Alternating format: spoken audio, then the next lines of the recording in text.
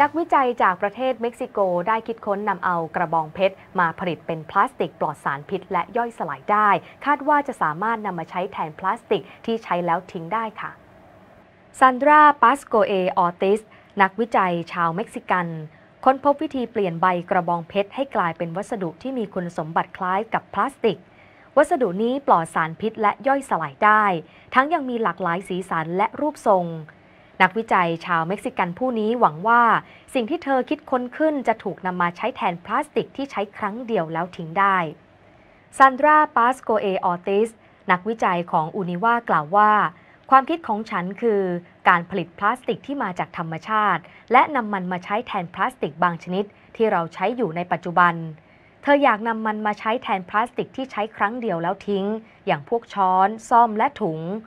วัสดุนี้ใช้เวลาย่อยสลายหนึ่งเดือน หลังจากที่ถูกฝังลงดิน หรือว่าถ้าอยู่ในน้ำใช้เวลาเพียง 2-3 วันเท่านั้นค่ะ ทั้งคนและสัตว์ก็ยังสามารถกินมันได้ด้วย หากพลาสติกนี้ไหลลงสู่ทะเล สิ่งที่น่าจะเกิดขึ้นก็คือ ปลาหรือสัตว์ทะเลอย่างอื่นคงจะกินมันได้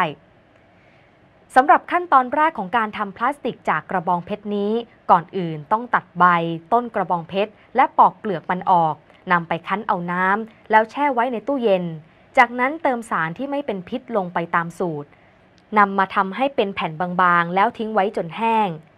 การทำแผ่นขนาดเท่านี้ ใช้ใบกระบองเพชรประมาณ 3 ใบ